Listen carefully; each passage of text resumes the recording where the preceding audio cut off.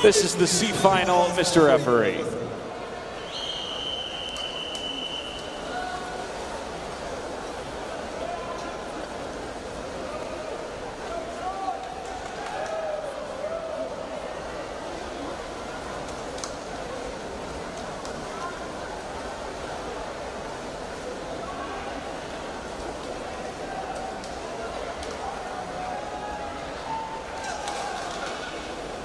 Swimming in your bonus final in lane number one from Sunkist Swim Team, Cameron Glass. Lane two from Somerset Hills YMCA, John Alexi.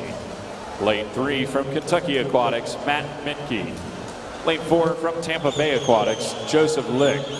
Lane five from Egg Harbor, Township Seahawks, Christian Bell. Lane six from Marlins of Raleigh, John Healy. Lane seven from Star Aquatics, Noah Henderson.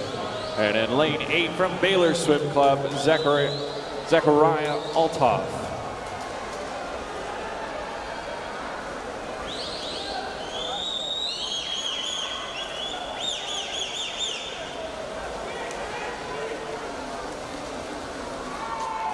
And in that bonus final from Kentucky Aquatics, Matt Minke. Time of 49.03.